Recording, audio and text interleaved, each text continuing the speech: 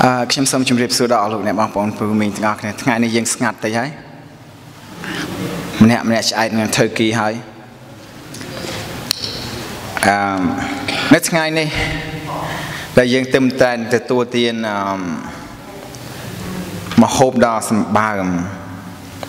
យើងងាកបែរមកវិញយើងពិចារណាជាមួយគ្នាវិញ beyond our wildest dream លើសជាង ក្តីយល់សប្តិដ៏ប្រសើរអស្ចារ្យរបស់យើងទៅទៀតហួសអំពីការគិតស្មានរបស់យើង ពីការចាប់អារម្មណ៍របស់យើងហួសអំពីសេចក្តីប្រាថ្នារបស់យើង So what is your wildest dream តើសេចក្តីប្រាថ្នាឬការចាប់អារម្មណ៍របស់លោកអ្នកបងប្អូននោះគឺជាអ្វីទៅនៅថ្ងៃនេះយើងនឹងពិចារណាជាមួយនឹងគ្នា What is it that you wanted to see in this life and the life to come តើអស់លោកអ្នកបងប្អូនចង់ឃើញអ្វីនៅក្នុងជីវិតរបស់អស់លោកអ្នកបងប្អូននៅពេលនេះហើយនឹងជីវិតទៅខាងមុខ I believe that everyone want to be prosper I believe that everyone want to see our children to become better, more successful than we are. And I believe that we want to see our children marry to the right person. Amen? And I believe that we want to see people come to know Christ. អស់លោកអ្នកបងប្អូនខ្ញុំជឿហើយខ្ញុំដឹងថាសេចក្តីប្រាថ្នារបស់យើងសប្តាហ៍ថ្ងៃនេះ our dream our wildest dream ដែលយើងចង់បានដែលយើងមានការចាប់អារម្មណ៍គឺយើងចង់ឲ្យបានរីកចម្រើនឡើងចម្រុងចម្រើនឡើងមែនទេយើងមិនចង់ធ្វើជាអ្នកក្រទៀតទេយើងចង់ឃើញក្រុមគ្រួសាររបស់យើងកូនរបស់យើង បានប្រសើរជាងយើង បានការងារល្អជាងយើងមែនទេយើងចង់ឃើញកូនរបស់យើងជ្រើសរើសប្តីឬមួយក៏ប្រពន្ធដ៏ត្រឹមត្រូវ ហើយគេស្រឡាញ់ព្រះផងហើយយើងចង់ឃើញមនុស្សនៅនាលោកនេះបានជឿដល់ព្រះអង្គពីព្រោះព្រះអង្គស្រឡាញ់យើងទាំងអស់គ្នាដោយលោកពូគាត់មានប្រសាសន៍ថាគាត់នៅក្មេងគាត់ខលជាងគេមិនខលធម្មតាខលជាងគេទៀតនៅក្នុងភូមិគាត់កុំឲ្យលឺភ្លេងបន្តិចរត់ទៅអាប្រហែលអត់មានអាវផងមិនដឹងអូមានដែរមានតែខោអត់អាវរត់ទៅអាមានតែអាវ អត់ខោអូខេ We want it doesn't matter who it was from the past but what it matter is today មិនជាបញ្ហាអ្វីទេកាលពីយើងពីមុនយើងទាំងអស់គ្នាពីមុនជាមនុស្សមានបាបដូចគ្នាតែនៅថ្ងៃនេះដែលព្រះអង្គបានរើសយើងព្រះអង្គបានហៅយើងពូគាត់ធ្លាប់ឡើងរំឡើងច្រៀង តែនៅពេលនេះគាត់មានចិត្តផ្សេងទៅវិញពីព្រោះព្រះបានរើសគាត់ Well this text is about the future of every believer នៅក្នុងខគម្ពីរថ្ងៃនេះយើងនឹងរៀនជាមួយគ្នាអំពីអនាគតរបស់អ្នកដែលជឿដោយលោកពូគាត់មានប្រសាសន៍ត្រូវហើយនៅក្នុងខគម្ពីរដែលយើងអានអំបញ្ញមិញ What is our beyond our wildest dream តើអ្វីទៅតើមានការអ្វីហួសពីសេចក្តីប្រាថ្នារបស់យើងនោះ យើងនឹងពិចារណាជាមួយនឹងគ្នាហើយនៅក្នុងខគម្ពីរនេះដែលយើងអានអំបញ្ញមិញដែលលោកលោកពូអានអំបញ្ញមិញនោះ is inspire our hope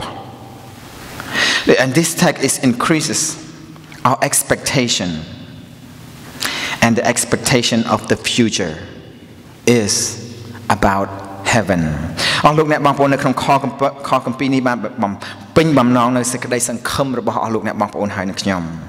ហើយក៏មានសេចក្តីសង្ឃឹមដែលរបស់យើងដែលបានកើតឡើងហើយសេចក្តីសង្ឃឹមនោះគឺយើងជឿថាហើយយើងទុកចិត្តទៅអនាគតគឺថ្ងៃមួយយើងនឹងបានទៅនៅឋានសួគ៌ជាមួយនឹងព្រះអង្គដែលព្រះអង្គបានរៀបចំទុកឲ្យយើង Heaven stretches our imagination and describe the fantastic future of all the believer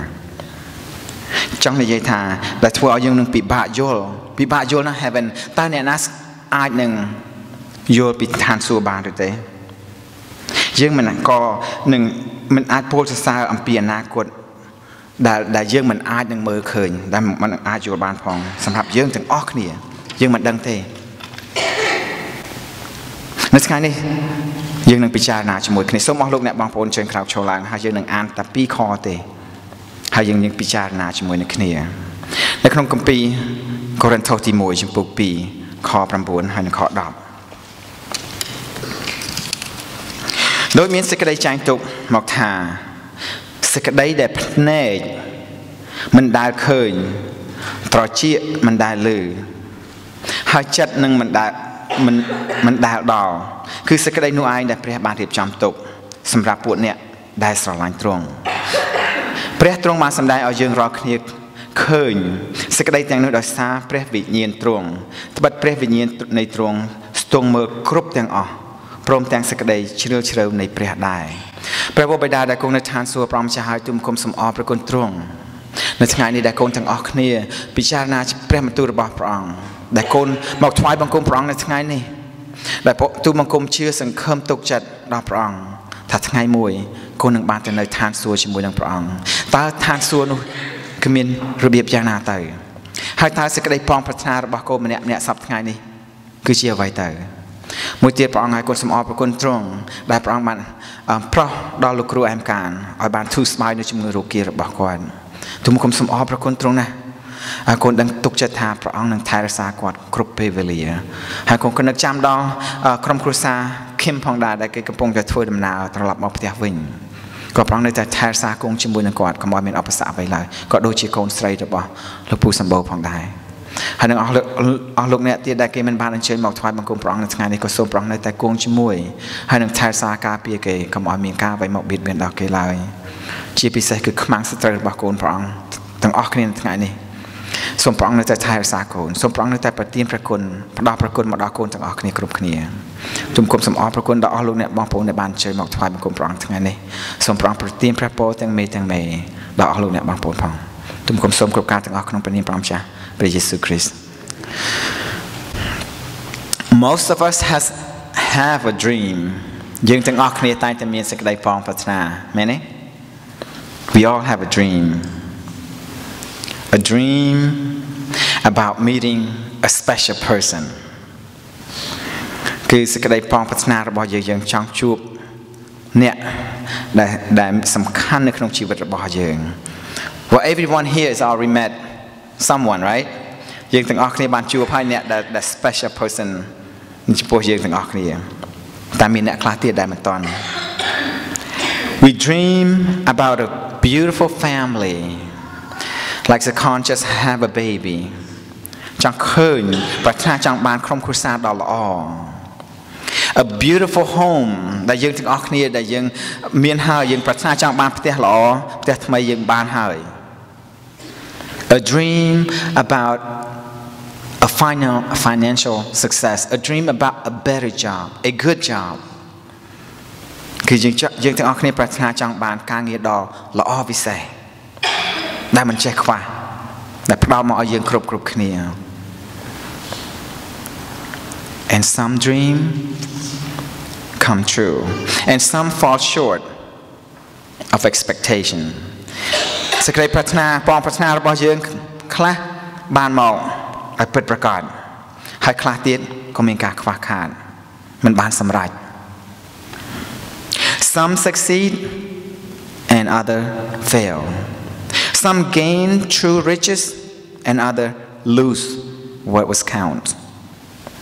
ហើយដែល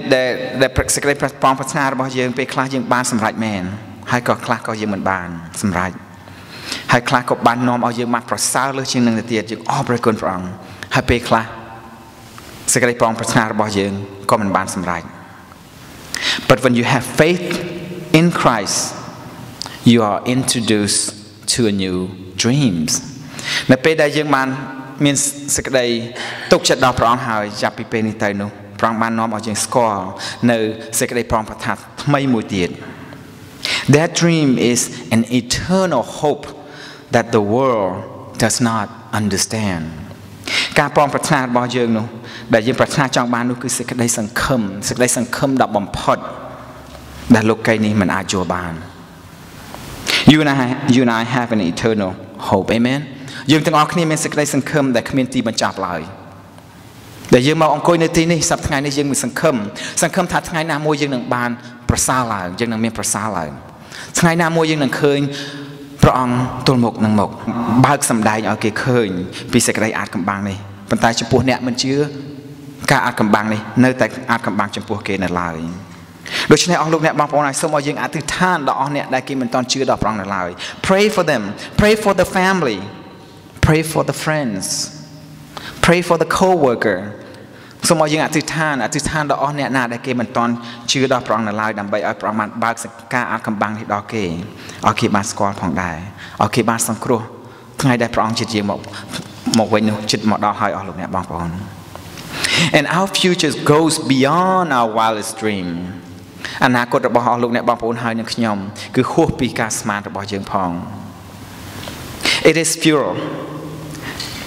គឺគ្មានលទ្ធផលអ្វីទេ trying to describe heaven អស់លោកអ្នកបងប្អូនទោះជាអស់លោកអ្នកបងប្អូនចង់ពិចារណាចង់ពិពណ៌នាអំពីភាពឋានសួគ៌នោះក៏យើងមិនអាចដឹងបានផងដែរនៅក្នុងខ9ដែលយើងអានអំបញ្ញមិញបាននិយាយយ៉ាងដូចនេះ verse 9 eyes has not seen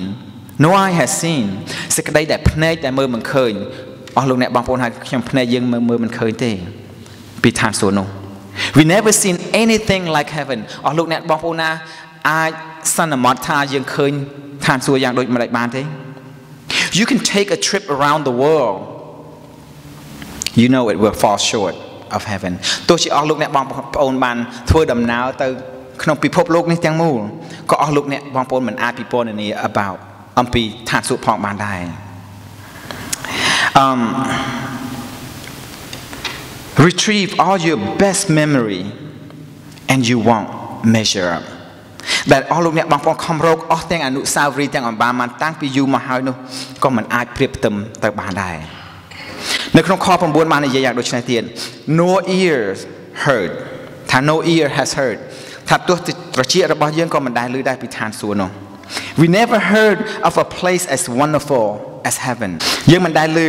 យើងមិនដែលឮពីឋានសួគ៌ដែលមានល្អអស្ចារ្យនោះទេយើងមិនដែលឮឡើយ When I was in Khao camp I heard people say that when we get to the America is heaven មែនទេកាលពេលអស់លោកអ្នកបងប្អូននៅក្នុងជំរំខៅដាងនៅឡើយយើងធ្លាប់ឮសូរថាមានអ្នកខ្លះថាបើសិនយើងបានមកដល់សហរដ្ឋអាមេរិកនោះប្រកាសជាយើងបានមកដល់ឋានសួគ៌ហើយ Is it People say that Hawaii, Bahama, Cancun, um, what else? It's uh, Bermuda. It's a beautiful place. And I believe it is a beautiful, beautiful place. I'm pretty sure it is. Although I never been there before. មានមនុស្សជាច្រើនទៀតថានៅនៅ Hawaii នៅនៅ Mexico នៅកន្លែងផ្សេងផ្សេងទៀតដែលកន្លែងស្អាតនៅ island ណាមួយ ខ្ញុំជឿថាប្រកាសជាស្អាតមែនប៉ុន្តែมันអាចប្រៀបធៀបទៅឋានសួគ៌បានឡើយ is undescribable គឺយើងមិនអាចពិពណ៌នាបានទេយើងមិនអាចបញ្យល់បាន ពីឋានសួគ៌នោះឡើយ The most eloquent speakers can't describe heaven អ្នកដែលមានវោហារអ្នកដែលចេះនិយាយច្រើនដែលរៀនដឹងច្រើននោះក៏គេមិនអាចពិពណ៌នាអំពីឋានសួគ៌បានដែរ The greatest artist cannot paint heaven អ្នកអឺដែលអឺសិល្បករវិវិចិត្រករ Okay what whatever that is the greatest artist អ្នកនោះក៏មិនអាចនឹងគូររូបឋានសួគ៌បានដែរអស់លោកអ្នកបងប្អូនទោះជាគេខំពិចារណាខំគិតមើល ក៏មិនអាចនឹងគូររូបឋានសួគ៌បានដែរ nor the composer write the music ហើយអ្នកដែលតែងភ្លេងខំសរសេរពីប្រវត្តិអំពីឋានសួគ៌នោះក៏មិនអាចធ្វើបានដែរខ9ដដែលបាននិយាយថា neither have it enter into heart of man which is no mind has imagined គឺហើយចិត្តរបស់អស់លោកអ្នកបងប្អូនចិត្តអ្នកណាក៏ដោយក៏នឹកមិនដល់ដែរ ទោះយើងនឹកស្មានយ៉ាងម៉េចថាឋានសួគ៌ក្នុងរបៀបណាក៏យើងមិននឹកស្មានបានដែរ all of our dreams fall short អស់លោកអ្នកបងប្អូនសេចក្តីប្រុងប្រឆារបស់យើងទាំងអំបាលបានគឺទៅមិនដល់គឺទៅមិនដល់ហើយ of what await for us in heaven ដែលព្រះអង្គបានរៀបចំទុកនៅឋានសួគ៌សម្រាប់អស់លោកអ្នកបងប្អូនហើយនឹងខ្ញុំ Amen យើងខំនឹកស្មានតែយើងនៅនេះលោកីនេះយើងកំពុងតែគិតកំពុងរិះគិតថាឋានសួគ៌របៀបម៉េច ទៅយ៉ាងណាជិះកប៉ាល់ហោះទៅឬមួយក៏ជិះកង់ទៅ No តែព្រះអង្គកំពុងតែរៀបចំកន្លែងសម្រាប់អស់លោកអ្នកបងប្អូនហើយនឹងខ្ញុំហើយរៀបចំកន្លែងសម្រាប់អស់អ្នកណាដែលជឿដល់ព្រះអង្គ And our dreams home have been prepared by God himself គឺព្រះអង្គបានរៀបចំផ្ទះសម្រាប់យើងទាំងអស់គ្នានៅខខ9ទៀតព្រះអង្គបានមានបន្ទូលថាយ៉ាងដូចនេះ The things which God has prepared for those for those who who love him ព្រះអង្គបានរៀបចំយ៉ាងនេះគឺសេចក្តីនោះឯងដែលព្រះបានរៀបចំទុកសម្រាប់ពួកអ្នកណាដែលស្រឡាញ់ព្រះអង្គតើអស់លោកអ្នកបងប្អូនស្រឡាញ់ព្រះអង្គទេតើអស់លោកអ្នកបងប្អូនទុកចិត្តនឹងព្រះឬទេបើអស់លោកអ្នកបងប្អូនស្រឡាញ់ទុកចិត្តដល់ព្រះអង្គហើយព្រះអង្គបានកំពុងតែរៀបចំកន្លែងនៅឯបរមសុខសម្រាប់អស់លោកអ្នកបងប្អូនហើយ Heaven has been prepared for those who trust in him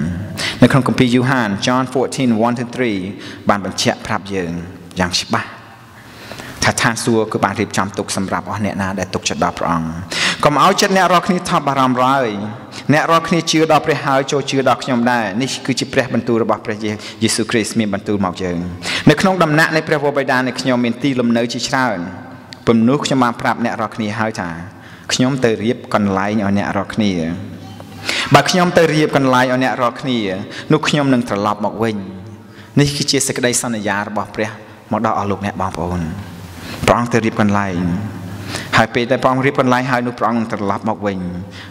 នឹងទទួលអ្នករាល់គ្នាទៅឯខ្ញុំប្រយោជន៍ប្រយោជន៍អ្វីប្រយោជន៍ឲ្យអ្នករាល់គ្នាបានទៅនៅកន្លែងដែលខ្ញុំនៅដែរសូកន្លែងណាដែលព្រះយេស៊ូវនៅ អស់លោកអ្នកបងប្អូននឹងបានទៅនៅជាមួយនឹងព្រះយេស៊ូវបើសិន that's always if បើសិនជាអស់លោកអ្នកបងប្អូនជឿដល់ព្រះអង្គទុកចិត្តដល់ព្រះអង្គនោះព្រះអង្គនឹងឲ្យអស់លោកអ្នកបងប្អូនទៅនៅជាមួយនឹងព្រះអង្គ Jesus words show us that the way to eternal life although it's unseen but it is secure as secure as your trust in Jesus អស់លោកអ្នកបងប្អូនព្រះយេស៊ូវមានបន្ទូលយ៉ាងដូចនេះថាដែលផ្លូវដែលនាំឲ្យយើងបានទៅនៅអស់កលជានិច្ចជាមួយនឹងព្រះអង្គនោះយើងមើលមិនឃើញទេគ្មានអ្នកណាមួយមើលឃើញទេប៉ុន្តែយើងបានរួចផុតពីគ្រោះថ្នាក់ដែលពេលដែលយើងធ្វើដំណើរទៅនោះ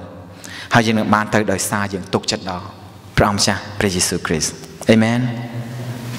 អស់លោកអ្នកបងប្អូនហើយយើងទាំងអស់គ្នាតែងតែធ្វើអ្វីខុសមួយនៅចំពោះព្រះអង្គជារៀងរាល់ពេលរាល់ថ្ងៃខ្ញុំដែរ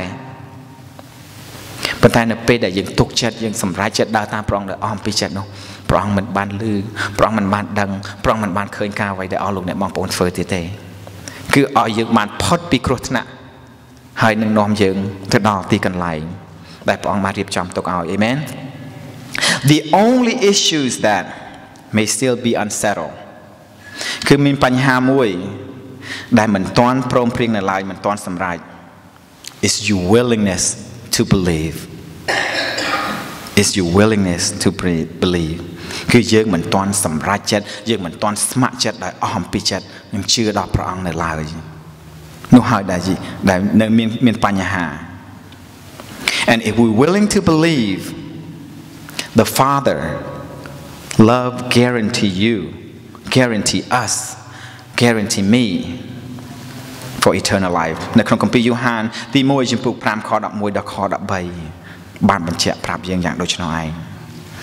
បើយើងព្រមជឿទុកចិត្តដល់ព្រះអង្គដែលអស់អំពីចិត្តព្រះអង្គនឹងធានាព្រះវរបិតានឹងធានាយើងទាំងអស់គ្នាហើយព្រះអង្គនឹងផ្ដល់នូវជីវិតដ៏អស្ចារ្យជានិច្ច Let's open to your heart to the uh, the Lord and let him let the savior in នៅក្នុងគម្ពីរ Revelation 3:20 នៅវិវរណៈចំពុក3ខ20ព្រះអង្គចង់ប្រាប់អស់លោកអ្នកបងប្អូនហើយនឹងខ្ញុំឲ្យរងចាំឲ្យបើកចំហចិត្តរបស់យើង ការអ្វីដែលយើងមិនអាចធ្វើបានព្រះអង្គកំពុងតែគោះព្រះអង្គកំពុងតែ knock ឲ្យគ្រាន់តែយើងរៀបចំសម្រេចចិត្តដែលអមពីចិត្ត នៅក្នុង Revelation 3:20វិវរណៈចំពុក3ខ20បាននិយាយយ៉ាងដូចនេះមើល behold I stand at the door អញឈរនៅមាត់ទ្វារទាំងគោះ and knock if anyone hear my voice and opens the door I will come in to him and dine with him and he with me បើអ្នកណាឮសំឡេងអញហើយបើកទ្វារឲ្យនោះអញនឹងចូលទៅឯអ្នកនោះមិនមែនគ្រាន់តែចូលទៅអ្នកនោះទេអស់លោកអ្នកបងប្អូនព្រះអង្គថានឹងបរិភោគជាមួយនឹងអ្នកនោះព្រះអង្គនឹងនៅជាមួយអ្នកនោះហើយអ្នកនោះនឹងនៅជាមួយនឹងអញដែរ According to this verse Jesus deliver this message to the church of Laodicea នៅនៅពេលនេះដែលយើងមើលអំបញ្ញមិញនៅក្នុងខ វិវរណៈចំពុក3នេះព្រះអង្គចង់មានបន្ទូលទៅចំពោះសាសឡៅឌីសេថាលេអូឌីស៊ីពីព្រោះនៅក្នុងទីក្រុងលេអូឌីស៊ីនោះ គឺជាអ្នកក្រុងអ្នកមាននៅក្នុងព្រះវិហារនោះដែលគេទៅជើចនៅក្នុងព្រះវិហារជើចនោះសិតតែជាពួកអ្នកមានហើយទីក្រុងនោះផងដែរក៏ជាទីក្រុងដ៏មានសម្បូរមែនទែនដូចជាយើងនៅសហរដ្ឋអាមេរិកនេះដែរ តែហេតុអ្វីបានជាព្រះអង្គបានមានបន្ទូលទៅទៅក្រុងឡាវឌីសេថាហ្នឹងយើងនឹងរៀនជាមួយនឹងគ្នា The Laodicean church was complacent and rich ដូចខ្ញុំខ្ញុំបានជម្រាបអំបញ្ញមិញពួកអ្នកក្រុមជំនុំនោះគេអត់មានកង្វល់ខ្វល់អ្វីឡើយអ្នកក្រុមជំនុំនោះគឺជាគេនៅពេលនោះ They were lukewarm they គ្រាន់តែ stir stir ដែលជឿដែរគេមិនត្រជាក់ហើយក៏មិនក្តៅ ព្រះអង្គចង់ដាស់តឿនចិត្តគេព្រះអង្គចង់បណ្ដាចិត្តដល់ក្រុមជំនុំរបស់គេនៅទីក្រុងនោះថាអ្នកឯងមកថ្វាយបង្គំព្រះអង្គហើយថាអ្នកឯងថ្វាយដង្វាយដល់ព្រះអង្គហើយប៉ុន្តែចិត្តរបស់អ្នកឯងរវើរវាយចិត្តរបស់អ្នកឯងមិនបាននៅជាមួយនឹងខ្ញុំទេគ្រាន់តែ stir stir ត្រជាក់ក៏មិនត្រជាក់ក្តៅក៏មិនក្តៅផង Christ knocking at the door each and every one of you right now ព្រះយេស៊ូវគ្រីស្ទកំពុងតែគោះទ្វារដល់អស់លោកអ្នកបងប្អូនហើយ Christ knock on the door on every people in that church at that time ព្រះយេស៊ូវគ្រីស្ទបានគោះទ្វារដល់អ្នកដែលក្រុមជំនុំនៅទីក្រុងនោះនៅពេលនោះ but they were so busy enjoying worldly pleasure នៅពេលនោះអស់លោកអ្នកបងប្អូនក្រុមជំនុំនៅសាស Laodicea នឹងគេកំពុងតែរវល់ណាស់ Yes គេមកថ្វាយបង្គំព្រះអង្គ1ម៉ោង2ម៉ោងដូចជាយើងសប្តាហ៍ថ្ងៃនេះដែរប៉ុន្តែព្រះមិនបានគង់នៅជាមួយនឹងគេគេរវល់ពេក that they didn't know notice that God was trying to knock on the door ដែលពេលគេកំពុងតែរវល់ខ្លាំងពេកនោះគេមិនបានអឺគិតថាព្រះយេស៊ូវកំពុងតែគោះទ្វារចិត្តរបស់គេគ្រប់គ្នាគេអត់ឮទេពេលដែលព្រះអង្គគោះទ្វារនោះពីព្រោះគេរវល់ណាស់ គេសប្បាយណាស់ church អស់លោកអ្នកបងប្អូនហើយហើយនឹងខ្ញុំ we need to be aware if you find ourselves feeling indifferent I said not different but indifferent to church indifferent to God or indifferent to the Bible we have begun to shut God out of our life អស់លោកអ្នកបងប្អូនខ្ញុំសូមជម្រាបសូមឲ្យយើងទាំងអស់គ្នាបានបានយល់ឲ្យច្បាស់នៅក្នុងកន្លែងនេះឲ្យដាស់តឿនចិត្តយើងទាំងអស់គ្នាឲ្យដឹងកុំឲ្យដូចជាក្រុមជំនុំនៅសាសលេអូឌីស៊ីនោះឡើយបើយើងនឹកថាយើងមិនខុសគ្នាពីមនុស្សឯទៀតនៅខាងក្រៅព្រះវិហារនេះទេបើយើងមិនខុសគ្នាមិនប្លែកពីមនុស្សដែលគេមិនជឿនោះទេបើយើងមិនប្លែកនោះ យើងទាំងអស់គ្នា បានបិទទ្វារហើយមិនឲ្យព្រះចូលមកក្នុងចិត្តរបស់យើងទេ ពេលព្រះកំពុងតែគោះទ្វារមកយើងនៅពេលនេះ យើងមិនលឺទេ បើយើងមិនខុសដូចជាមនុស្សដែលគេមិនទាន់ជឿនៅឡើយសូមឲ្យយើងបានខុសប្លែកពីគេទាំងអស់គ្នានោះសូមឲ្យយើងបានផ្សេងពីអ្នកដែលគេមិនទាន់ជឿនៅឡើយសូមឲ្យយើងចេញពីទីនេះទៅឲ្យយើងបានធ្វើជាមនុស្សដែលគេសម្លឹងមើលមកយើងថាយើងខុសពីគេ បើយើងដូចគេនោះដោយលោកពូមានភាសាមិនអញ្ចឹងនោះវោហើយគឺយើងបានបិទទ្វារមិនឲ្យព្រះអង្គចូលមកក្នុងចិត្តយើងឡើយគឺយើងមិនបានបើកទ្វារឲ្យព្រះអង្គបានមកសម្រេចអ្វីអ្វីដែលយើងត្រូវធ្វើការតាមសំប្រហាតីរបស់ព្រះនៅនាលោកីនេះ Jesus knock at the door of your heart right now ព្រះយេស៊ូវកំពុងតែគោះទ្វារជីវិតរបស់អស់លោកអ្នកបងប្អូនហើយចិត្តរបស់អស់លោកអ្នកបងប្អូនហើយ Why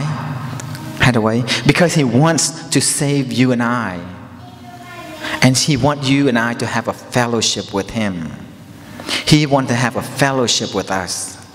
ព្រះអង្គកំពុងតែគោះទ្វារដល់អស់លោកអ្នកបងប្អូនពីព្រោះព្រះអង្គចង់សង្គ្រោះអស់លោកអ្នកបងប្អូនហើយព្រះអង្គចង់មានចំណែក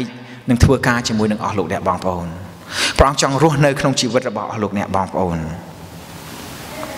and he will not breaking and entering but he will knock on your door ព្រះអង្គមិនមិនមិនសពប្រហាតីព្រះអង្គមិនមិនមិនបុកទ្វារនឹងចូលទៅក្នុងជីវិតរបស់លោកអ្នកបងប្អូនប៉ុន្តែព្រះអង្គនឹងឈរនៅមាត់ទ្វារព្រះអង្គនឹងគោះទ្វារ He allow us to decide whether or not to open our life to him ព្រះអង្គមិនមិនមិនមិនចំអឺមិនធ្វើឲ្យយើងអឺព្រះអង្គចង់ឲ្យយើងសម្រេចចិត្តដោយខ្លួនឯង That's what I meant ព្រះអង្គមិនគាត់ចង់តែបើកទ្វារជំរុញចូលនោះទេព្រះអង្គឲ្យយើង decide ព្រះអង្គឲ្យយើងសម្រេចចិត្តថាតើយើងសម្រេចចិត្តនឹងបើកទ្វារតើយើងសម្រេចចិត្តនឹងឲ្យព្រះអង្គមកចូលនៅក្នុងចិត្តរបស់យើងឬក៏ឬក៏អត់សូមឲ្យយើងប្រយ័ត្នប្រយ័ត្ននៅខ្មាំងសត្រូវរបស់យើងសពថ្ងៃនេះដែលវាឈរនៅចិត្តយើងនៅឡើយវាមិនទៅណាឆ្ងាយពីយើងទេ យើងកំពុងតែមានសង្គ្រាម ជារៀងរាល់ថ្ងៃ ខ្មាំងសត្រូវរបស់យើងកំពុងតែឈរនៅចិត្តយើងនោះឯងដូច្នេះហើយព្រះអង្គមានន័យថាបើសិនជាយើងគោះព្រះអង្គគោះទ្វារហើយបើយើងបើកនោះព្រះអង្គនឹងយើងចូលមកហើយព្រះអង្គនឹងការពារនិងថែរក្សាយើងមិនឲ្យមានឧបសគ្គអ្វីមកបៀតបៀនយើងឡើយ Amen in verse 10នៅក្នុងខ10បាននិយាយយ៉ាងដូចនេះ The Holy Spirit grants us a glimpse of glory នៅក្នុងខ10ព្រះអង្គបានអនុញ្ញាតឲ្យយើងទាំងអស់គ្នាឃើញសេរីល្អរបស់ទ្រង់ឃើញឋានសួគ៌ដែលព្រះអង្គនឹងរៀបចំទុកឲ្យយើងឃើញផ្ទះដ៏ធំដែលយើងមិនដែលជួបប្រទះព្រះអង្គនឹងឲ្យយើងឃើញ the deep things of God God's deepest secret សេចក្តីជ្រាលជ្រៅជ្រាលជ្រៅនៃព្រះអាចកំបាំងរបស់ព្រះអាចកំបាំងនៃព្រះនេះចង់និយាយថា Jesus death and resurrection and the promise of salvation សេចក្តីអាចកំបាំងរបស់ព្រះសេចក្តីជ្រាលជ្រៅនៃព្រះនេះគឺជាព្រះយេស៊ូវគ្រីស្ទដែលបានសុគតនៅលើឈើឆ្កាងហើយព្រះអង្គមានប្រជញ្ញរស់ឡើងវិញដោយសារព្រះអង្គមានប្រជញ្ញរស់ឡើងវិញព្រះអង្គសង្គ្រោះដល់អស់លោកអ្នកបងប្អូនហើយនឹងខ្ញុំអេមែននេះហើយគឺជាសេចក្តីជ្រាលជ្រៅនៃព្រះសេចក្តីអាចកំបាំងនៃព្រះ He revealed this ព្រះអង្គបានបង្ហាញការទាំងអស់នេះ only to those who believe in him and only those who believe that God say is true ព្រះអង្គបានបង្ហាញសេចក្តីអាចកំបាំងនេះទៅដល់អស់អ្នកណាដែលជឿដល់ព្រះអង្គហើយជាជឿហើយយើងថាជាការពិតប្រាកដពេលដែលយើងអានព្រះបន្ទូលរបស់ព្រះអង្គយើងដឹងថានេះគឺជាពិតប្រាកដមែនដែលព្រះអង្គបាន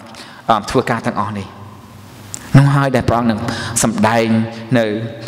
ការអាចកំបាំងសម្ដែងនៅការជ្រាលជ្រៅនៃព្រះឲ្យយើងឃើញ Church beyond your wildest dream អស់លោកអ្នកបងប្អូនហើយហួសពីការគិតហួសពីការចាប់អារម្មណ៍របស់យើង maybe your wildest dream you want to be the best of the best you want to be uh, um, have a big house Have a nice car God will grant you that God will grant you that but first thing first trust in him obey him អស់លោកអ្នកបងប្អូនណាដែលដែលយើងនឹកថាយើងចង់បានអ្វីមួយប្រាថ្នាចង់បានរបស់ដ៏ល្អពិសេសព្រះអង្គនឹងផ្ដល់ឲ្យមកយើងពីព្រោះពីព្រោះព្រះអង្គជាព្រះលើអស់ទាំងព្រះព្រះអង្គជាមហាសិទ្ធិលើអស់ទាំងមហាសិទ្ធិព្រះអង្គនឹងផ្ដល់មកឲ្យយើងតែមុនដំបូងព្រះអង្គ គឺយើងត្រូវទុកចិត្តដល់ព្រះអង្គដែលអស់ពីចិត្តស្វែងរកព្រះអង្គដែលអស់ពីចិត្តនោះព្រះអង្គនឹងផ្ដល់អ្វីអ្វីដែលយើងប្រាថ្នាចង់បានអេមែន And when God knocking on your door please let him in នៅពេលណាដែលព្រះអង្គបានគោះទ្វារចិត្តដល់អស់លោកអ្នកបងប្អូនសូមអស់លោកអ្នកបងប្អូនបានបើកទ្វារឲ្យព្រះអង្គចូលផងដើម្បីព្រះអង្គនឹងផ្ដល់នៅអ្វីអ្វីទាំងអស់ដែលអស់លោកអ្នកបងប្អូនត្រូវការ um you will never regret ប្រអស់លោកអ្នកបងប្អូនហើយអស់សូមជឿចោះ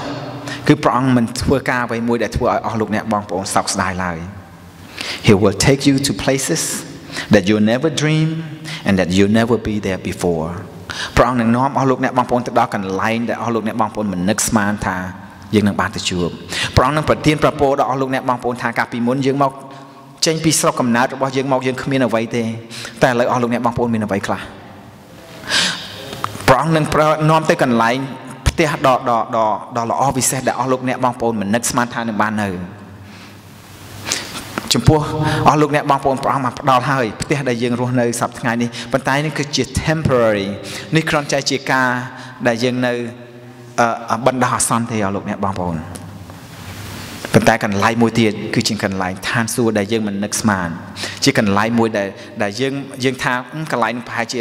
អញ្ចេះមួយអញ្ចេះមួយ តែយើងមិនអាចយល់បានទេលុះត្រាតែយើងបានទៅដល់នោះប៉ុន្តែមុននឹងយើងទៅបានទៅដល់នោះគឺសូមឲ្យយើងបានទុកចិត្តដល់ព្រះអង្គដែលអស់អំពីចិត្តអស់អំពីប្រលឹងរបស់យើង Amen So what is your wildest dream So what is that you តើអ្វីទៅដែលអស់លោកអ្នកបងប្អូនប្រាថ្នាចង់បានអស់លោកអ្នកបងប្អូនប្រាថ្នាចង់បានអ្វីមួយនៅពេលនេះ